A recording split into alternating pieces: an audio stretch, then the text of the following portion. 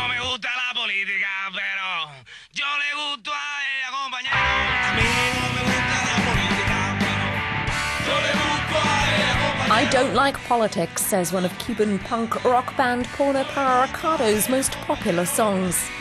The group was formed in 1998 by Gorki Aguila, who's become a symbol of protest against Castro's regime.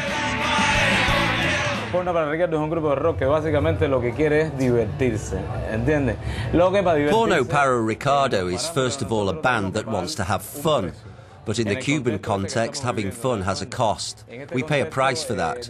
We're in a communist and castrist Cuba, you know. Estamos en Cuba comunista, en la castrista. ¿entiendes? One of the important things for Porno Para Ricardo is that we consider this totalitarian regime as politically incorrect. Porno Para Ricardo is a non governmental musical group.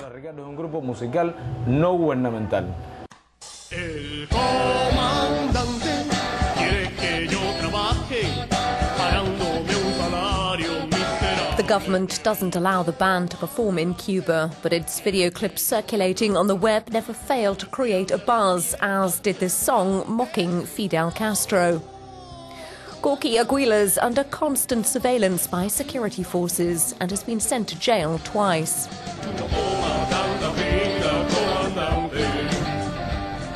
We've had to find strategies in order for Porno Para Ricardo to continue to work and express itself. One of those strategies is to create our own space for expression.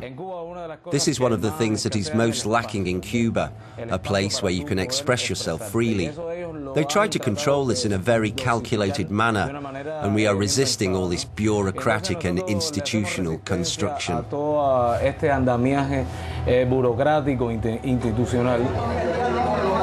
With underground concerts and events, the group tries to organise as many occasions as possible to meet their fans.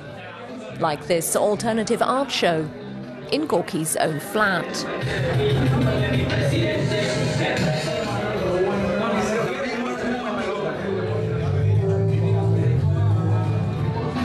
The band set up a small studio in the flat where they record and press their CDs, which are then secretly distributed.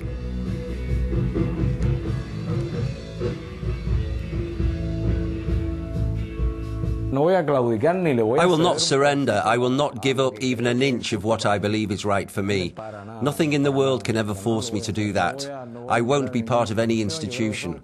I believe they're all scandals designed to filter out real creativity, to take away from art one of the most precious things we have, our transgressive side, our part of freedom. esta, parte transgresora, esta parte de libertad, ¿no?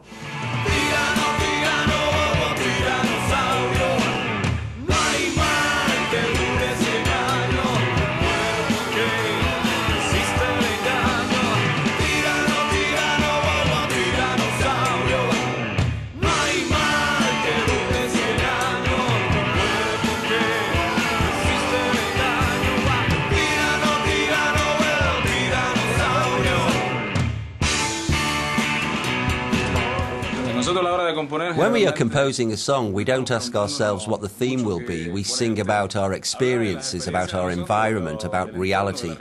We sing about what we like, what we enjoy, and what we don't like. We sing about what we want to make fun of, about anything that comes through our minds, really. Right now, we're going through an anti Castro phase, anti Raul, anti Ah, all those scoundrels who govern this country. You see, we're having loads of fun, I can guarantee it. Te lo garantizo.